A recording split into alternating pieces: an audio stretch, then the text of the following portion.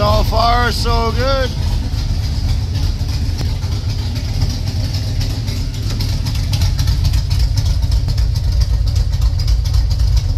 Been running for a couple minutes now. She ain't overheating. So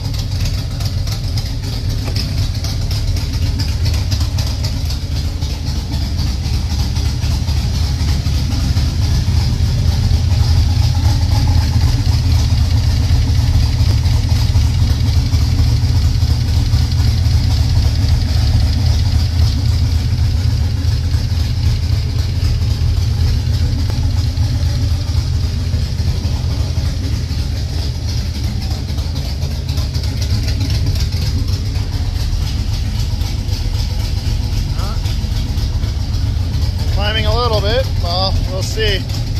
Got a 160 degree thermostat, so right now the thermostat should be open. Even better news, the temperature dropped once the fans kicked in. She ain't overheating. I say uh, some success. Now I just got to mount my new racing seat in here and everything, and she'll be ready to rock and roll. Hopefully, some more test driving on the road will determine that. Now the question is, how am I going to mount this seat? Because actually, it's pretty comfortable right where it is. Maybe it has to come forward a little bit more. But other than that, shut the door here. I don't mind this at all. Yeah, race car. And then, you got my different steering wheel in here. Yes. It's actually a third gen Camaro steering wheel with a Fiero horn button. But uh, yeah, I just got to figure out how to mount this racing seat. It's got to forward a little bit more, but then we'll be ready to rock and roll. Time for a test drive around the block. Probably happen tomorrow. So a little excited. Woo! Got the AC pump out. Put in this nice bypass pulley. Ooh, now I gotta refix the exhaust and hook up the sway bar. And that should be it for under the Camaro. Woo! Well, the racing seat's installed. Yep, she ain't moving anywhere. Except I think she I got her a little bit too close. Which kind of sucks because that'd be ripping it all back apart, drilling a bunch of new holes. That part kind of sucks because this brake pedal is like kind of a bitch to get to.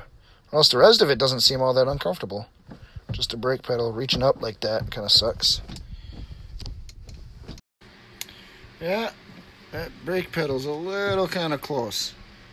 I don't know if it shows up real well, but I don't know. It's like sitting like this doesn't seem all that uncomfortable. So I don't know. I'm not uncomfortable like this, but like that brake pedal, that's way up there. Oh shit! Changing the fluid in the '96 Camaro's T56. Uh, There's some little little bits of shininess in there.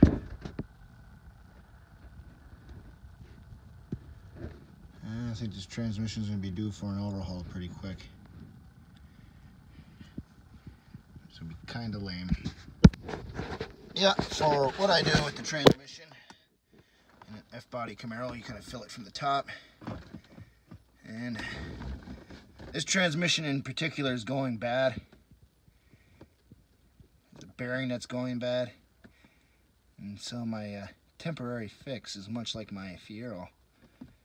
Just dump in a bunch of Lucas oil stabilizer and call it good.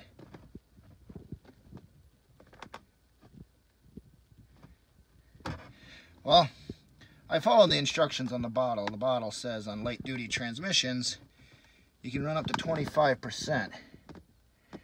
So like this particular car being that it takes four quarts, it gets one quart of Lucas and the other Dexron 3.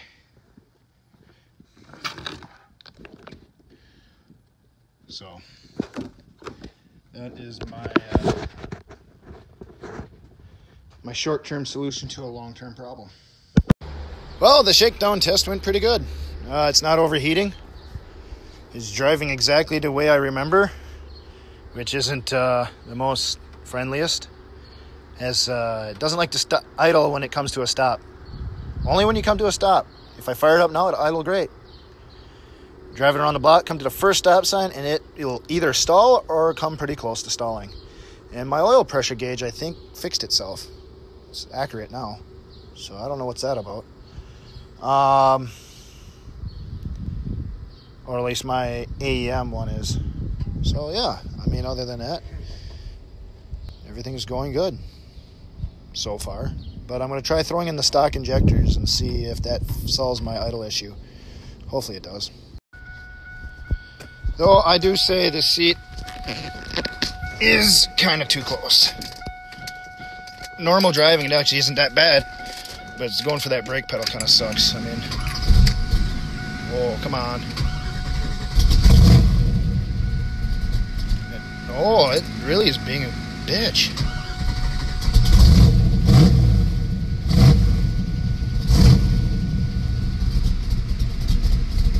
Uh, and there it comes back.